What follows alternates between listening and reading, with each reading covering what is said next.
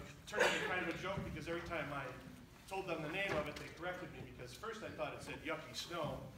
Um, but yuki is, is the Japanese word for snow, I found out. So mm-hmm. sometimes I would say, okay, we're going to play yucky snow. I was corrected. It's yuki, Mr. Mm-hmm. Yuki.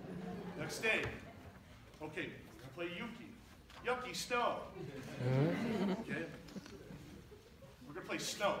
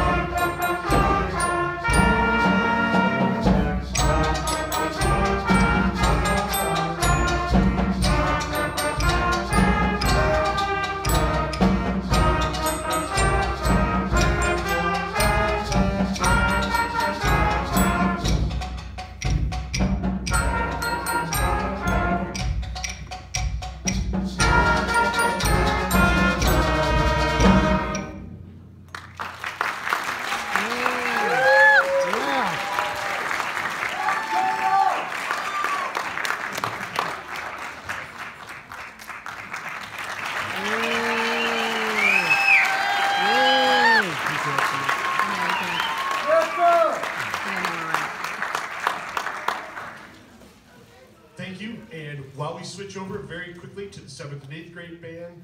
The sixth graders will be seated in the front two rows here to watch the rest of the concert, and they um, they need to please stay and help pick up and make sure we got all our instruments put away and all our music, and we don't leave anything behind.